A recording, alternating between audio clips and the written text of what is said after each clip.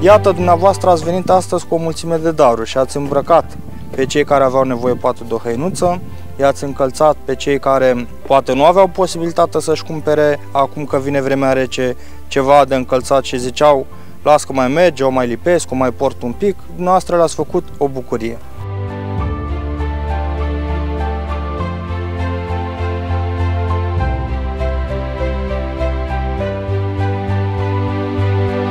Da, pentru că suntem la începutul lunii noiembrie, sigur că ne gândim și la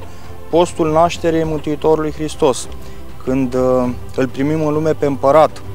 Și postul întotdeauna ne vorbește despre rugăciune, milostenie și fapte bune în general. Este important ca postul să fie întotdeauna învelit într-un substrat spiritual și anume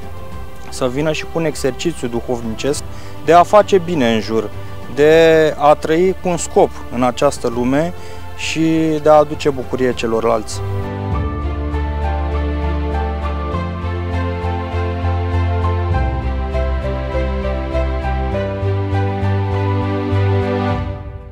Astăzi ne aflăm în Duminica Bogatului, Nemilostiv și a Săracului Lazar, când biserica ne învață că este bine să facem milostenie și să trăim în empatie față de aproapele nostru care se află în,